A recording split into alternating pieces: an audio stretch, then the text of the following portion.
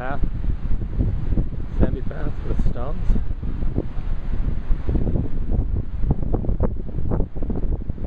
And our house.